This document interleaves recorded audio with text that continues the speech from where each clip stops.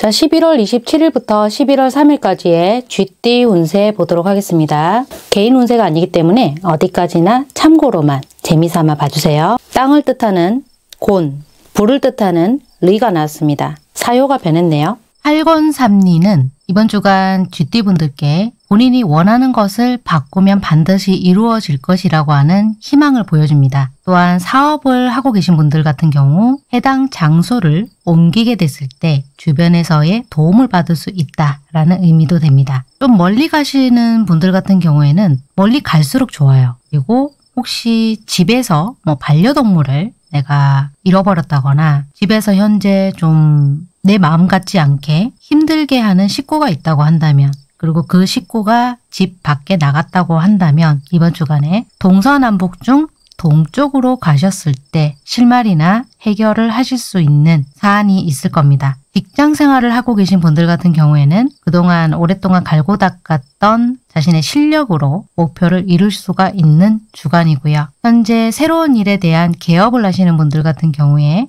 오랫동안 준비를 해왔던 일, 그리고 그것이 전혀 새로운 일이라면 더 길한 방향으로 펼쳐질 수 있는 주간입니다. 다만 좀 아쉬운 것은 결혼운이나 시험운 같은 경우 운적으로 약간 떨어지는 주간이에요. 잘 밀어붙인다 하더라도 원하시는 방향대로 좀 가기가 힘이 붙인다라는 게 보여지고 이 부분은 어, 집이나 상가에 대한 매매운과도 역시 마찬가지로 운적으로 조금 떨어지는 주간이 되겠습니다. 법적인 송사 같은 경우 물론 개인운에 따라 다르시겠습니다만 쥐띠분들 이번 주간에는 소송에서 유리하지 못한 부분이 보이고요.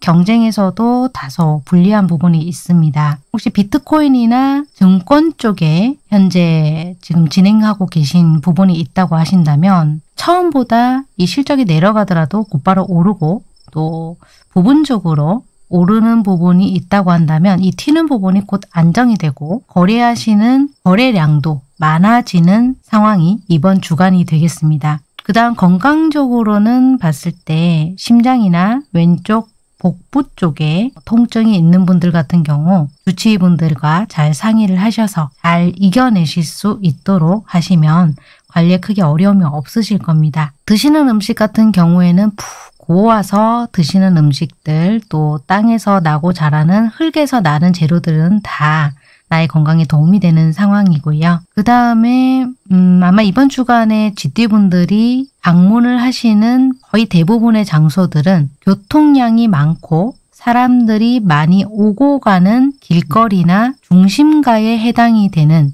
장소들이 빈번하게 방문되는 장소로 확인이 됩니다. 이번 주간에 내 운에서 어, 행운을 불러다 줄 수 있는 옷은 누런색 또는 녹색 계열이 운 쪽으로 개운을 가져다 주는 색상으로 확인이 됩니다. 좋아요, 구독 꼭 부탁드립니다. 감사합니다.